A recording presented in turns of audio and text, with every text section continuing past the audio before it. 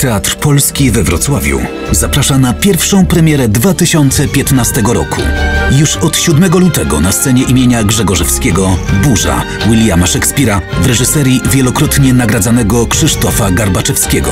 Burza to podróż w sieć ludzkich pragnień i namiętności. Podróż na wyspę z dala od cywilizacji, gdzie magia, miłość i śmierć nabierają głębszego znaczenia. Wybierzesz się z nami? Więcej na teatrpolski wroc.pl